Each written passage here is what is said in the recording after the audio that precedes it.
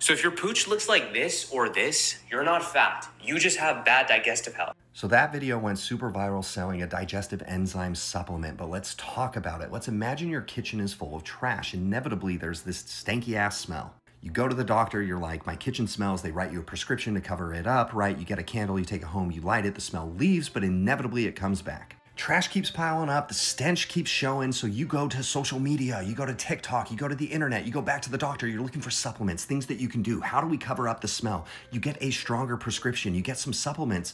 The smell leaves, but inevitably it comes back. This process is going to continue to repeat because the trash continues to build up. Until one day you just take out the trash. You're just like, you know what? Let's take out the trash. And then magically, there's no smell. There is no smell. You got a clean kitchen. So many people are dealing with bad gut health and they're buying these supplements, but they're not attacking a root cause. And so it's not working as efficiently as it could. We don't cover up smells, okay? We clean the kitchen. Your body has a natural way to clean itself. That happens when you sleep, and your sleep is impacting every single functionality within your body your digestion, your metabolism, your energy, your cognitive function, your immunity, your hormones, and balancing your hormones, cellular repair, and recovery. The problem is, you don't get this if you're a mouth breather, and most people unconsciously turn into a mouth breather when they sleep. You know this is true if you get stinky ass breath in the morning, if you have dry mouth, if you need drinks of water throughout the night, if you drool, if you snore, all of these are signs of you being a mouth breather. There is no benefit to taking in air through the mouth, but there's massive benefits through nasal breathing. When you breathe nasally, you engage your parasympathetic nervous system. It is the opposite of fight or flight. It is literally your body cleaning the kitchen. It is your repair mode, your recovery mode. So, so many people on this app talk about mouth taping to get a snatched jaw. No, who cares?